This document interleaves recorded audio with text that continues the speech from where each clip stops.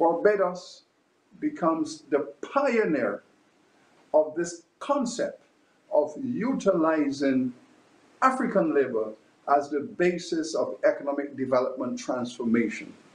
Barbados therefore becomes the first society in our hemisphere where black people became the majority.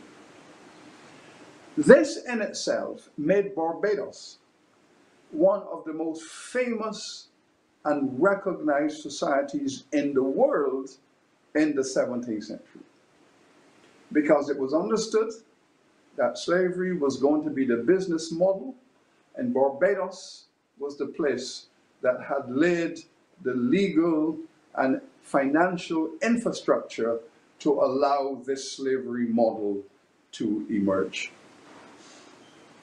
This development, the concept that a financial model can be structured in such a way on the assumption that you can bring thousands of African peoples across an ocean.